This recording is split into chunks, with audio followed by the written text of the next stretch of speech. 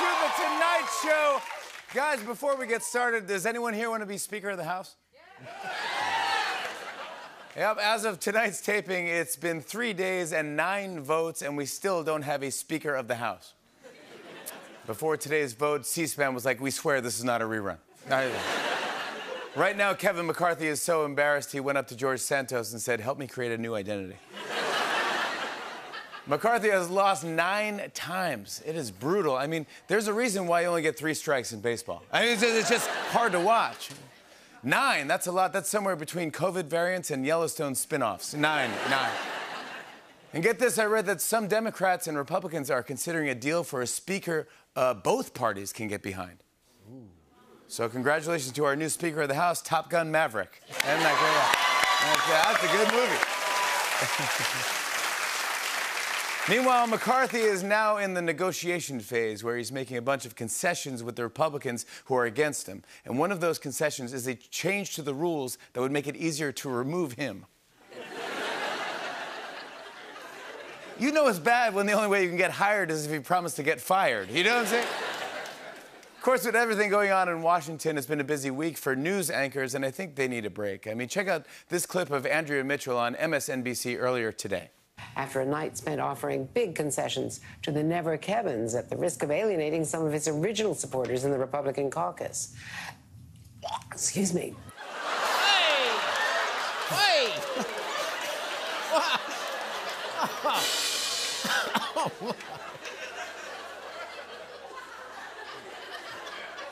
and then, for the first time in TV history, a news anchor coughed up a hairball. I mean, I've never. That's the sound you make when the doctor checks if you have strep throat. You know what I'm saying? That's the sound your ketchup bottle makes when you try to squeeze out the last drop. The closed captioning just said, You're so lucky you didn't hear that. Yep, Congress spent a third day voting for a new Speaker of the House, and after so many rounds, I feel bad for the people who have to keep reading all the names of the representatives to get their vote. You know what? Don't feel bad, it's easy. I'm just saying, it's, it's tedious and some of the names are hard to pronounce. Not when you're a professional announcer like me. Go ahead, test me. Okay, I guess I can. I'll test you real quick. And who's this? Okay, easy. Jerry Curl. no, all right. Okay, who's, who's this? Come on, Barry Manilow. Come on. Give me some harder ones. Rapid fire me. Okay, here we go. Who's this? Okay, uh, David Schwimmer. Rihanna. Lady Macbeth. Bad Salmon. Chips Ahoy. Frank Stallone. Ah, ah, ah, chew. Oh, it's Scott Delivery. It's DiGiorno. Um, ah, na na na na, na na na na, na na na na na na, na na na na na. Lyrical gangster. Nice blunt rotation. Oh, Yank Johnson. Uh, Menage a trois in Greece. Oh, vicious, vicious sharts. Oh. And liar. Oh my God! What, all right, okay, that's, thank you very much, Steve Higgins, a professional. Steve Higgins, everyone. uh, everyone is weighing in on this today. Uh, Elon Musk tweeted, "Kevin McCarthy should be Speaker." It makes sense because Kevin McCarthy is a lot like a Tesla. He was on the road to his destination and then suddenly veered off course. Meanwhile, President Biden is staying out of the speaker drama, calling it embarrassing, but saying, quote, that's not my problem. then he added, but if it were my problem, I definitely wouldn't be laughing at Kevin McCarthy right now like I am. And I wouldn't be checking the news every five minutes to see if he lost another vote while rubbing my hands like it's dinner time. Fortunately, I don't have to give my opinion.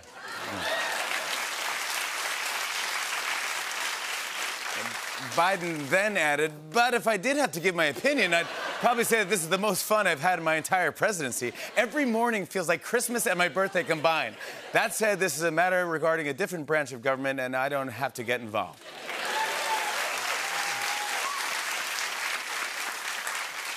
Then he added, but if I did have to get involved, I'd probably throw a parade of sorts, maybe using 15,000 drones to form an image of Kevin McCarthy's face in the sky, and then it'd morph into the crying Jordan meme while playing Everybody Hurts at full volume. At which he, at which point Biden just posted, the Kermit drinking tea meme. There you go. That's interesting. Everybody's talking about this. Uh, in his forthcoming book, Prince Harry claims that Prince William once knocked him to the floor during an argument about Meghan. Apparently, the fight happened at the Buckingham Waffle Palace.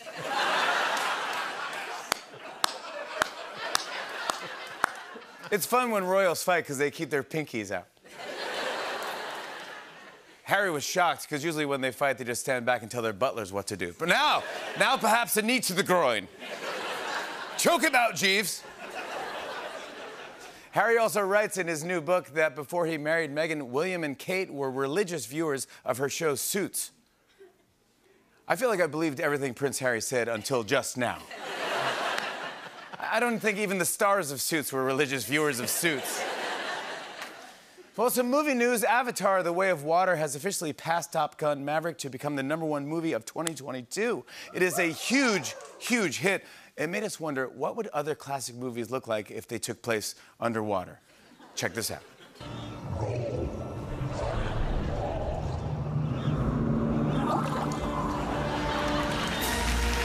That's it. Pretty good. I'd watch that. Well, listen to this. I heard that uh, people on TikTok are claiming that a great way to beat the flu is by sleeping with potato slices in your socks. There's a lot of questionable medical advice online, and depending on where you look, you get pretty different answers. For instance, for the flu, TikTok says sleep with potato slices in your socks. Facebook says ask Bill Gates, he owns your DNA, robot. WebMD says get your affairs in order, you're gonna die. Next up, for a cold, TikTok says make NyQuil chicken soup. Twitter says bring in Elon Musk to fire half your germs. WebMD says get your affairs in order, you're gonna die.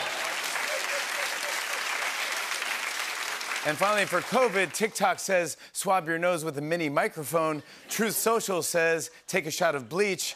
And WebMD says get your affairs in order, you're gonna die. I think just call a real doctor. Guys, I read about a new COVID variant that has some people worried. It's called XBB.1.5. I guess they couldn't think of a catchier name, and it actually inspired me to write a tiny song.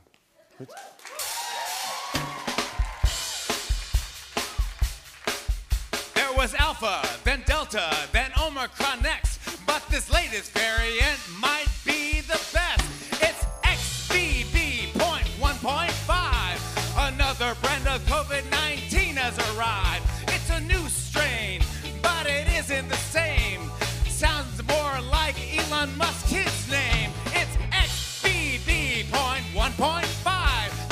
UB40, who sings Red Red Wine.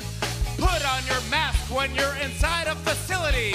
It could be a robot from a Star Wars trilogy. It's XBB.1.5, not OMG or MP3 or TCBY or an eye chart made by a really high guy. Sounds like the password of your parents' Wi-Fi.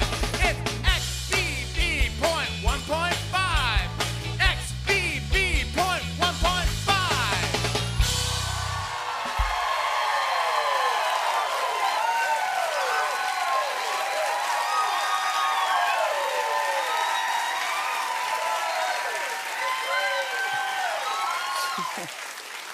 the most applause I've gotten in five years. Unbelievable. Switching gears, uh, a big consumer electronics show just kicked off in Las Vegas, and there are so many new products on display, including a self driving stroller that's powered by artificial intelligence. The only question is will it be a billion dollar lawsuit or a trillion dollar lawsuit? Yeah, the commercial says order one now before we all get arrested. But don't worry, it comes with an override button in case your baby needs to take control of the stroller. Another interesting product being unveiled is the high tech snore silencing pillow. Although that's any pillow if you hold it against someone's face long enough. You know what I'm saying? A pillow that stops you from snoring, which has got to be the most passive aggressive gift of all time.